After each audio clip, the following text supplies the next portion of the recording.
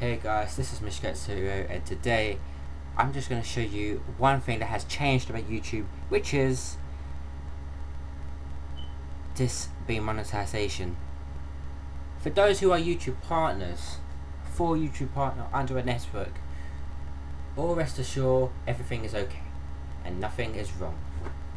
Just so you know, all that's happened is a little cosmetic surgery that YouTube has done so now, as you probably have noticed, everybody who is on a YouTube partner network would find a dollar sign instead of a claim sign. Don't worry, your videos are still claimed and your content are still yours. But also, if you go into channel settings, you may find that, yeah, you're still in a network. So, yeah, nothing is lost, nothing's all gone.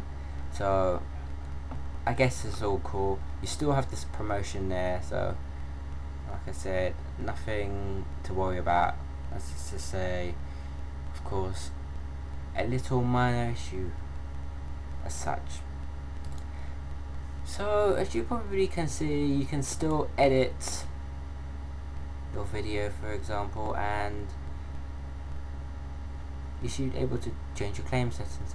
However, it just says monetization so what would happen is you can take all of these, like you can say, and of course you can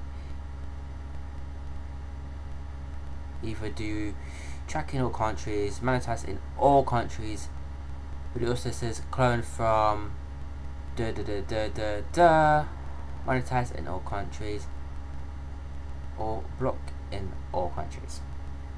So, yes.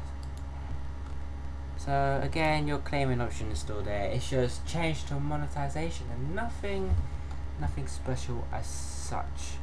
So thank you for watching guys and have a good evening or good morning or an afternoon.